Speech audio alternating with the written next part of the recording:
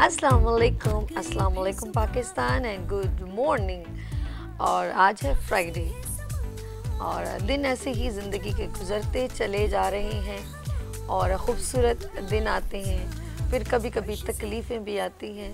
और इस जब तकलीफ़ें आती हैं तो फिर हम दुआ मांगते हैं। और मैं भी आपको हमेशा जब भी आपके साथ इंट्रैक्शन करती हूँ तो देती हूँ दुआ, खुश रहें, आबाद रहें, अपनों के साथ रहें। एक दूसरे का ख्याल रखें और ख़ास तौर पे अपने वालदेन का, जो अल्लाह पाक का बहुत ही कीमती तोहफ़ा है। और एक तोहफ़ा हमारा पाकिस्तान, जिससे हमें बहुत प्यार है। हम आज़ादी से सांस लेते हैं। गुड मॉर्निंग विद सभी में आपको बहुत सारे हम मोटिवेशनल मैसेज आपसे शेयर करते हैं और गाह बगा बहुत सारी बातों से आगाह करते हैं। हमारे पाकिस्तान में बहुत टैलेंट है। हमारे पाकिस्तान में टैलेंटेड लोग हैं और बहुत सारे लोग बहुत सारे एक्टिविटीज़ भी कर रहे होते हैं। कुछ एजुकेशनल होती है, कुछ पेट्रोटिज़म होती है निगुबुल वतनी पर होता है। जैसे डिफरेंट डेज़ में 14 अगस्त हो गया छः सितंबर हो गया 25 दिसंबर हो गया, नौ नवंबर हो गया। तो बहुत सारे ऐसे बड़े बड़े दिन हमारे त्यौहार रहते हैं तो हम लोग उन लोगों को, अपने हीरोज़ को याद करते हैं। फिर हम लोग ज़ाहिर सी बात है, जब हमारे जहन में कोई कॉन्सेप्ट होता है कुछ क्रिएशन होती है। कुछ लोग मोटिवेशनल हमारे लिए होते हैं तो फिर हम लोग उनके नाम से या उनकी, उन, उनको फॉलो करते हुए आगे बढ़ना चाहते हैं। और सबसे इम्पोर्टेंट चीज़ है कि तालीम हमारे लिए बहुत ज़रूरी एजुकेशन नो डाउट स्किल्स बहुत ज़रूरी है, लेकिन जब तक आप थोड़ा तालीम हासिल नहीं करेंगे, बल्कि ज़्यादा ही हासिल करनी चाहिए, बल्कि जितने भी लोग हैं, सबने दीनी और दूसरी तरह की तालीम जो हम लोग एजुकेशन के तौर पे हासिल करते हैं सबने हासिल की। स्कूल में कॉलेज में। और तालीम हमारे लिए बहुत ही ज़रूरी है। हमें अवेयर करती है। हमें नॉलेजेबल करती है। हमें क्रिएटिव बनाती है। एजुकेशन बहुत ज़रूरी है। और एजुकेशन के बहुत सारे मैंने देखा इवेंट्स होते हैं। और डिफरेंट लोगों को मैं कहती हूँ कि पहले लोग आ, कल भी ये बात हो रही थी कि लोग पहले स्टडी बहुत करते थे। किताबें बहुत पढ़ते थे। और हमारे मुसलमानों में मैं अलल ईरान कहना चाहती हूँ कि जितनी भी बड़ी बड़ी किताबें जो क्रिएशन की है वो मुसलमानों ने ही की है। बू अली सीना और बहुत सारे नाम हैं मेरे जहन से, अभी शायद फिज़िक्स जिसने क्रिएट की।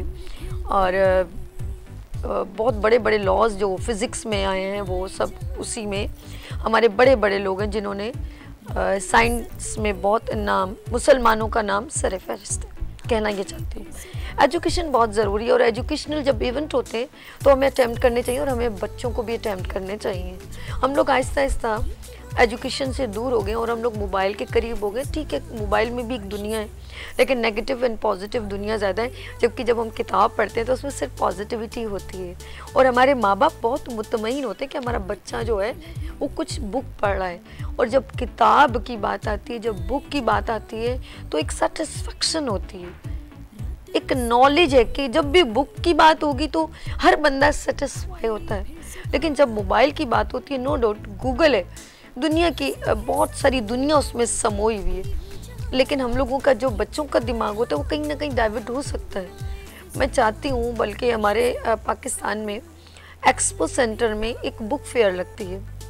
वो एक साल बाद लगती है। अब कोरोना की वजह से दो साल से शायद नहीं लग रही, और फिर ये बारिशें वगैरह जो भी है, वो पोस्टपोन्ड हो जाती है। लेकिन मुझे बहुत अच्छी लगती है वो बुक फेयर मैंने अक्सर पेरेंट्स को देखती हूँ, अपने बच्चों को लेके जाते हैं। उनके जहन में सलेक्शन आती है, यार ये बुक अच्छी है, इसमें देखो कितनी प्यारी स्टोरीज़ हैं। गा बगा तो ये नॉलेज गेन होती है। वो ज़्यादा सेटिस्फेक्शन है। मैं चाहती हूँ आप दोबारा अपने बच्चों को अच्छी अच्छी बुक्स ला के दें स्टोरीज बुक ला के दें, अपने हीरोज़ कायद अजम मोहम्मद अली जना अलामा इकबाल, सर सैद अहमद ख़ान, शौकत अली और बहुत सारे लेजेंड लोग हैं हमारे लिए, जिन्होंने पाकिस्तान की क्रिएशन में एक बहुत बेहतरीन किरदार निभाया। और आज हम आज़ाद मुमलिकत पाकिस्तान में सांस ले रहे हैं। तो आई होप कि अपने बच्चों के साथ मोबाइल शेयर करने से बेहतर है। आप उनसे बुक्स शेयर करें। और घर में न्यूज़पेपर हो या छोटी छोटी बुक्स हो, उनको गेम्स हो, जो गिफ्टिंग में जब उनकी बर्थडे आए या कोई बड़ा दिन हो तो उनको बुक्स और अच्छी अच्छी स्टोरीज गिफ्ट करें। ये इनिशियली बहुत जब हम छोटा सा बच्चा होता है, उसको कितनी प्यारी कलरफुल बुक्स ला के लेते हैं ताकि उसकी अट्रैक्शन बढ़े। Apple mango B four ball ऐसा ही भेजते हैं उसके अंदर क्रिएशन होती कलरफुल लेट्स सी एजुकेशन की बात करूँगी तो मुझे बहुत अच्छा लगता है जब मैं पॉजिटिव मैसेज आपको आप तक डिलीवर करूँ जिससे और लोगों को फ़ायदा हो। यस yes, एक खूबसूरत इवेंट हो रहा है कराची में। C S S corner Pakistan में पहला वाहिद इदारा जो ऑनलाइन एजुकेशन सिस्टम चला रहा है। सी एस एस एक बड़ा इदारा है। और वो पाकिस्तान में मतलब पहली बार इंट्रोड्यूस करवा रहा है free education C S S corner में फ्री क्लासेस रजिस्ट्रेशन भी बिल्कुल फ्री है, जारी है। जिसका फ़ायदा नई आने वाली नस्लों को फ़ायदा होगा, उठाएँगे वो लोग। इस तरह की काविश कम होती है। सी एस एस कॉर्नर ने ये पहली इब्तदा आप लोगों के लिए किया ताकि आप ज़्यादा से ज़्यादा एजुकेटेड हो। और लॉन्चिंग सेरेमनी है 22 अगस्त पीर को शाम पाँच बजे मरकज़ी इस्लामी लाइब्रेरी आयशा मंजिल में ये मुनद किया जा रहा है इस इवेंट को। अच्छा जी सी एस एस कॉर्नर के सीईओ तला तला सलीम को मैं मुबारकबाद पेश करती हूँ और बेस्ट एफर्ट के लिए और मेरी तरफ़ से and Venus H D T V channel की तरफ़ से और गुड मॉर्निंग विद सभी की तरफ़ से क्योंकि आप बहुत ही पॉजिटिव काम करें तो Talha Saleem my best wishes for you और आपका ये इवेंट बहुत सक्सेसफुल रहे और मैं चाहती हूँ आप इस तरह और बहुत सारे काम प्रेजेंट करें जिसमें एजुकेशन लेवल पर बहुत सारे लोगों को फ़ायदा हो। थैंक यू सो मच ये है मोटिवेशनल मैसेज और आप भी अगर कोई भी ऐसा पॉजिटिव मैसेज मुझे देना चाहें तो मैं अपने प्लेटफॉर्म गुड मॉर्निंग विद सभी की जानब से जिसमें हमारी यूथ को कोई बेनिफिट हो तो मैं ज़रूर आपसे शेयर करूँगी। लेट्स सी हम अपने प्रोग्राम की जानब चलते हैं और एजुकेशन की बात करूँ, अपनी यूथ की बात करूँ तो मुझे बहुत अच्छा लगता है कि मैं अपने न्यू जनरेशन एंड यूथ को और ख़ास तौर पे प्यारी प्यारी नन्नी मुन्नी बच्चियों को अपने पाकिस्तान की हुब्बुल वतनी, उनके दिल के अंदर, उनके जिस्म के रोम रोम में देखती हूँ, उनके लबों में देखती हूँ, उनकी आँखों में देखती हूँ तो मेरी आँखें भी चमक जाती हैं। मेरा दिल भी भर आता है कि ऐसी यूथ की वजह से आज पाकिस्तान कायम दायम है। शायद मेरे अल्फाज अपने मुल्क के लिए कम पड़ जाए। और जब मैं इसको दुखी देखती हूँ, अब दुखी कैसे? जब मैं इसको थोड़ा लोगों को गंदा करते देखती हूँ तो दुखी हो जाती हूँ। जब मैं लोगों को बिला पौधे काटते देखती हूँ और वहाँ पे बिल्डिंग बनाते देखती हूँ तो दुखी हो जाती हूँ मैं। जब मैं देखती हूँ कि नाले में सिर्फ़ पानी गंदा होना चाहिए, वहाँ पे कचरा देखती हूँ तो दुखी हो जाती हूँ। जब मैं गड़े में गिरते हुए फैमिली को देखती हूँ, बाइक पे चलते हुए तो दुखी हो जाती हूँ। जब मैं एक साल पहले बना हुआ रोड, वो अगले छः महीनों में टूट जाता है तो मैं दुखी हो जाती हूँ। आने वाली नस्लों को हम क्या दे रहे हैं? हम अपनी सिर्फ़ चार दीवारी को खूबसूरत कर रहे हैं, लेकिन हमारी इर्द गिर्द बहुत सारे दुश्मनों की बाढ़ है और पूरे पाकिस्तान में मेरा एक प्यारा सा पाकिस्तान है। तो मैं उसको नहीं संभाल पा रही हूँ। आप सोचे ना ये खूबसूरत सा पाकिस्तान है इर्द गिर्द बहुत सारे दुश्मन है। जिस तरह हम अपने प्यारे से घर को कहीं चोर ना आ जाए, ऐसा डर लगता है ना मेरे बच्चे को नुकसान ना हो जाए, मेरे घर में डकैती ना पड़ जाए। दरवाज़ा बंद कर दो, इतना आपको मालूम है। लेकिन कभी ये नहीं मालूम कि हमारी ये छोटी छोटी गलतियाँ या आपस में लड़ाइयाँ दूसरे मुल्क को फ़ायदा दे सकती हैं। चले लेट्स सी हमारे पाकिस्तान में बहुत सारे वतनी के रखने वाले बच्चे भी मौजूद हैं। बहुत प्यार करते हैं वो। अपने मुल्क से। अब मैं ये देखना चाहती हूँ कि वो बच्चे क्या सोचते हैं। और आप भी देखिए गुड मॉर्निंग विद समी में कितना टैलेंटेड लोग आते हैं और क्या क्या काम कर रहे हैं वो लोग। और क्या क्या सोच है उनकी। आप देखें, और अगर आपके अंदर भी टैलेंट है तो आप हमें ज्वाइन कर सकते हैं। सबसे पहले मैं यहाँ पर मिलाऊँगी नन्नी मुन्नी सी। बड़ी प्यारी सी यहाँ पर एक बच्ची बैठी हुई है। फोर्थ क्लास की वो स्टूडेंट है। अच्छा जी, और इन्होंने नूरुल एन उनका नाम है, और दी स्टेप एकेडमी से वो हैं, और कहना चाहूँगी कि इन नन्हे मुन्ने फूलों से मेरा गुलशन सजा है। कोई ऐसी हवा न लग जाए कि ये मुरझा मेरे दिल की ये दुआ है, ये फूल गुलिस्ता, इन नन्हे मुन्ने, प्यारे प्यारे तारों से हमेशा जगमगाता रहे। मेरा पाकिस्तान। और ये आज नूरुलैन हमारे साथ है। अस्सलाम वालेकुम नूरुलैन। वालेकुम अस्सलाम। कैसे हो? मैं ठीक आप बताएँ? मैं फ़र्स्ट क्लास फोर्टीन अगस्त अभी भी चल रहा है। और हमेशा चलता रहे। मेरी बातें सुन रही थी? कोई बात अच्छी लगी? आप दो थे मुझे अच्छा लगा। थैंक यू सो मच अच्छा आज आप मुझे बताएँ कि क्या सुनाना चाह रही हैं? आज पचहत्तर साल हो गए। और हम ये कहेंगे काफ़ी दिन हमारी ज़िंदगी के गुजर गए। और इस मुल्क को आज पचहत्तर साल हो गए। ये पचहत्तर साल इस बच्ची के जहन में क्या दे रहे हैं? क्या अच्छा हुआ क्या बुरा हुआ? इन पचहत्तर सालों ने हमें क्या दिया और क्या लिया? ऐसा ही जी। चलें जी बिस्मिल्लाह करते हैं। नूरुलैन आप खड़े हो जाएँ। जी नाजीन हमारे दरमियान नूरुलैन मौजूद है और वो बताएँगी पचहत्तर साल में हमने क्या खोया क्या पाया। जी ये कैमरा आपका। ये? जी। सजद वकार और मुआज़ हाजरीन। आज मुझे जिस मौजू को अल्फाज के गुलदस्ते में सजाना है, वो है, हमने पिछहत्तर बरसों में क्या खोया, क्या पाया? जनाबे वाला, इन दिनों चारों तरफ़ पाकिस्तान पाकिस्तान के पिछहत्तर बरसों के अनवार रुखसा हैं। हर मुहिब वतन अजमत कौम वतन का परचम लहरा रहा है। इस हसी माहौल में कैम पाकिस्तान के बाद के पिछहत्तर बरसों का जायजा, वक्त का तकाजा भी है और असर हाजिर का आवाजा भी। क्योंकि मेरा अजीम वतन अपने हर फर्जिंद को आवाज़ दे रहा है कि, ये घड़ी महशर की है, तू अरसा है महशर में है। ये घड़ी महशर की है, तू अरसा है महशर में है। पेश कर गाफिल अमल कोई अगर दफ्तर में है। सदर मोहतरम, मेरा वतन रब करीम का एहसान है। मुस्लिम निशाते सानिया की पहचान है। हर एक गमे हयात का दरमान है। इस वतन के सदके हमने हर वो नेमत हासिल की, जिसकी हम आज़ादी से पहले ही तस्वुर नहीं कर सकते थे। गुलामों ने आज़ादी का करार पाया, हमें इज़्ज़त नफ मिली, अपनी पहचान अता हुई। अंग्रेज़ की अख्तदार की सिया धूप में झलसने वालों को अमनो राहत का साइबान अता हुआ।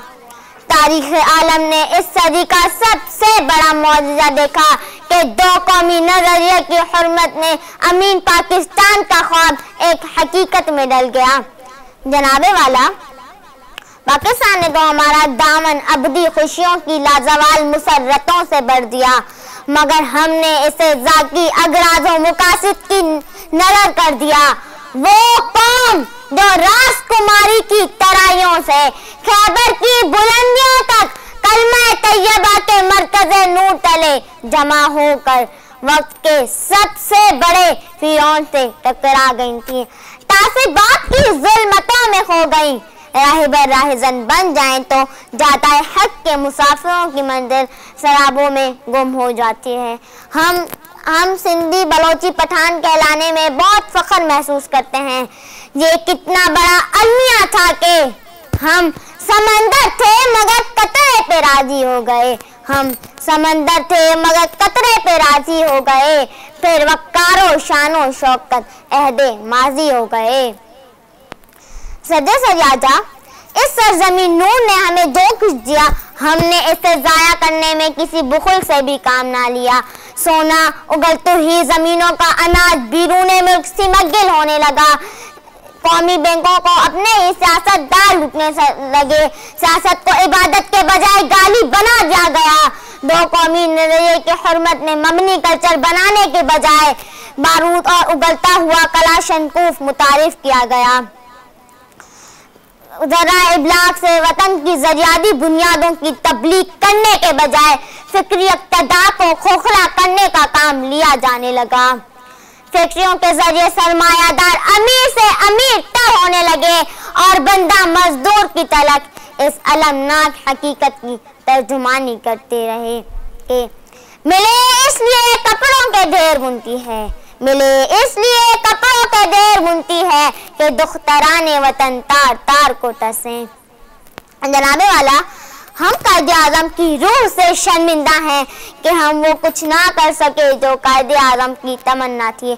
हमें अपनी कुताहियों का एहसास है और यही एहसास हमें ज्या मुद्दा कौमों को हयात नो अता करता है। मैं कायदे आज़म की मैं कायदे आज़म की रूह को हकीकत पेश करते हुए इस एहसास के साथ इजाज़त चाहती हूँ। एक कायद, हम शर्मिंदा हैं। अपना ना सके हर तौर तेरा। वो कौन हुई बेबालों पर? बनना था जिसे शहबाज तेरा। तस्दीद वफा हम करते हैं और आज ये वादा करते हैं। अपनाएँगे हर तौर तेरा, अंदाज तेरा। शुक्रिया। इधर अच्छा खुशाबाद। ऐसे बच्चे हमारे मुल्क का सरमाया है। ठीक है? बट अल्लाह नज़र बद से बचाए इस बच्ची को। इतने प्यार से इसने अपने पाकिस्तान की अक्कासी की है। ये कहने पे मैं मजबूर हूँ, हर लहजा है मोमिन की नई शान, नई आन। गुफ्तार में, किरदार में, अल्लाह के बुरा। कहारियो गफ़ारियो कुद्दूसियो, जबरूत। ये चार अनासर हो तो बनता है मुसलमान। अगर हमारे दिल में ईमान ताज़ा है तो अपने मुल्क के साथ कभी भी दगाबाजी नहीं करेंगे और कभी मुनाफिकत नहीं करेंगे। आपका एक छोटा सा किरदार आपको बहुत बड़ा बना देता है। हमारे बहुत मशहूर राइटर हैं इशफाक अहमद साहब। उनसे किसी दोस्त ने पूछा, यार कुछ मुझे बताओ कि मैं कुछ छोटी सी नेकी करूँ। मुझे बताओ कि मैं अच्छा कैसे हो सकता हूँ ऐसा बोला। तो छोटी सी नेकी मेरे पहले अल्फाज आ गया क्योंकि वो कहते हैं ना कि दिल में चल रहा है तो कुछ नेकी क्या कहलाती है। तो उसने कहा कि यार मैं कुछ अच्छा बनना चाहता हूँ मुझे बताओ। तो उसने कहा मरने की तैयारी करो। यार मेरे 25 साल अभी तो मैं उम्र है और तो मुझे बहुत पुरानी बात उन्होंने अपनी बात शेयर की है। ऑफकोर्स अभी शवाक में सब मौजूद नहीं दुनिया में। अल्लाह उनको गरी की रहमत करे। तो उन्होंने कहा कि आ, क्या करना चाहिए? मुझे कुछ बताओ कि मैं सब में अच्छा अच्छा महसूस करूँ और लोग मुझे पसंद करें। तो उन्होंने कहा, मरने की तैयारी अच्छी कर लो। उसने कहा कि, यार, मेरी उम्र पच्चीस साल है, मैं क्यों ऐसा करूँ? आप ऐसा क्यों कह रहे हो? तो उन्होंने कहा, फिर कुछ नेकी छोटी सी कर लो। अब ज़िंदगी में याद रखिएगा, छोटी सी नेकी बहुत बड़ी होती है। और आप ये ना सोचें कि आपने बहुत सारी नेकियाँ करनी है। दुनिया में बहुत मसले हैं, लेकिन आप अपना किरदार निभाएँ। अगर आपको लगता है कि ये एक पत्थर रोड पे पड़ा है और आते जाते किसी को तकलीफ़ हो रही है तो आप उसको उठा के रख दें। आपकी नेकी मेरे रब ने कबूल कर लिया। इस मुल्क के बारे में सोच के, रास्ते में जिनसे आपका ताल्लुक नहीं है, जिनसे आपको गिव एंड टेक नहीं है, उसके लिए आप कुछ सोच देंगे ना, ये वो नेकी कहलाएगी। तो इससे जो इंसान को एक दिली तसल्ली होती है ना, वो दुनिया के इतने सारे लोगों को उधार दे के पैसे दे के मतलब ही गिफ्ट दे के नहीं मिलेगी। लेकिन अगर आप वो जो बेलॉस होगी, वो छोटी सी नेकी आपके दिल में बहुत खूबसूरत जगह बना लेगी। उसमें आपके अपने दिल की तसली होगी, ईमान की तसली होगी और अपने मुल्क के लिए कुछ छोड़ी थोड़े सा आपने सोचा, ये थोड़ा नहीं, ये बहुत बड़ा है। अपने इब्तदा की, अपना किरदार निभाया, बिल्कुल उसी तरह, जिस तरह सूर्य फील में जब काबे पे हमला हो रहा था तो अब अभी एक नन्ना सा परिंदा में मैसेज देता है कि उसने एक छोटे से एक पत्थर मारा था। अगर उसको ये कह देते एक पत्थर से क्या ये इतना बड़ा हाथी मर जाएगा? ऐसा नहीं था। उसने अपना किरदार निभाया। ऐसा है कि नहीं? अजय हज़रत इब्राहिम अलैहिस्सलाम को जब आग में डाला जा रहा था तो चिड़िया अगर थोड़ा सा एक नन्ना सा कतरा डाल रही थी। तो तेरे नन्ने से कतरे से क्या ये आग बुझ जाएगी। उसने कहा, मैं अपना किरदार निभा रही हूँ। पूरे पाकिस्तान में 2200 करोड़ आवाम मौजूद है। अगर मेरी गिनती में कुछ अप डाउन हो गया, उसके लिए माजरत, हम अपना किरदार निभाते हुए ये क्यों सोचते हैं कि सब कर रहे हैं तो मैं भी क्यों ना करूँ? मेरे करने से क्या होगा? अरे, आपने तो अपना काम करना है ना। आपने क्या उस चिड़िया से आप बहुत छोटे अब अब अबीर से बहुत छोटे, उस नन्हे से कतरे से छोटे। नहीं, अब बहुत बड़े आप अपना किरदार निभाएँ। लेट्स सी हम चलते हैं अपने सेगमेंट की तरफ़। मैं क्या करूँ? मेरे पाकिस्तान की जब बात आती है तो मैं तो ऐसी हो जाती हूँ। और मैं चाहती हूँ, अल्लाह करे सबके दिल में, अपने पाकिस्तान से और अपने पाकिस्तान में रहने वालों से यही मोहब्बत हमेशा रहे। तो इन इस पाकिस्तान पे कोई दुश्मन भी गंदी निगाह से नहीं देख देख सकता। अल्लाह पाक हमारे फोर्सेस को सलामत रखे आई सल्यूट एंड इस वक्त सेकंड हमारे मौजूद हैं और वो बताएँगी कि पाकिस्तान मेरी पहचान, वाकई में हमारी पहचान है। पाकिस्तान हम किसी मुल्क में जाते हैं, तब पता चलता है कि हम कौन सी कंट्री से बिलोंग करते हैं। तबस्सुम अली एट क्लास के स्टूडेंट हैं और जेम्स ग्रामर स्कूल से अस्सलाम वालेकुम। कैसे हो? हाय सोफे में छुप जाओगे ऐसे बैठो ना। क्या हो गया मेरी शहजादी? इतनी डर रही हो क्या लाइव शो है? अच्छा जी अब मैं असल में बच्चों के साथ थोड़ा सा गेट टुगेदर कर लेती हूँ ताकि बच्चा ज़रा कंफर्टेबल हो जाए। लाइव शो है ना? ऐसा ही तब बस तुम कैसा लगा यहाँ ना? अच्छा लगा। मज़ा मज़ा आया। आज क्या सुना रहे हो? तकरीर पाकिस्तान मेरी पहचान। क्या बात है। अच्छा हम तबस्सुम से आ, सुनते हैं। पहले हम थोड़ी सी मैं चाह रही थी कि छोटी सी ब्रेक ले लें। उसके बाद हम लोग तबस्सुम के पास आते हैं। लेते हैं यहाँ पर ब्रेक और मिलते हैं। ब्रेक के बाद गुड मॉर्निंग विद सभी के साथ और प्यारी सी नूरुलैन और तबस्सुम के साथ।